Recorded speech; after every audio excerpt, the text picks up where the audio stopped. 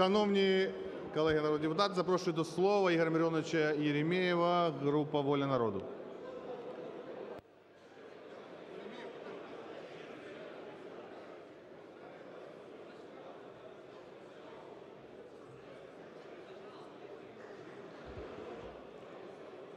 Український народе, пане Президенте, шановні гості.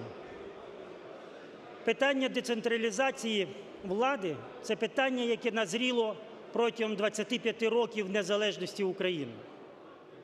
Не було за 25 років в цій країні влади, яка б не хотіла мати абсолютної влади.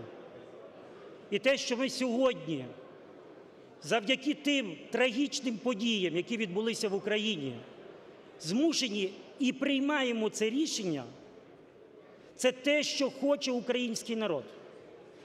Фракція Воля народу складається з мажоритарників. Ми представляємо Західну Україну, Центральну Україну, Східну Україну. Тисячі сіл, які ми об'їхали, і немає жодної селищної ради або громади, яка б не сказала: дайте нам повноваження. Ми знаємо, що необхідно робити. Ми вміємо робити. Дайте нам можливість. Не концентруйте все в Києві. І ми прийняли рішення для себе, що ми будемо підтримувати даний законопроект. Якщо виходити, виходити з тих обставин, які сьогодні відбуваються на Сході, і коли сьогодні наші воїни захищають Україну, і децентралізація влади є один із елементів мінських угод, ми можемо сьогодні робити будь-які завгодно лозунги казати.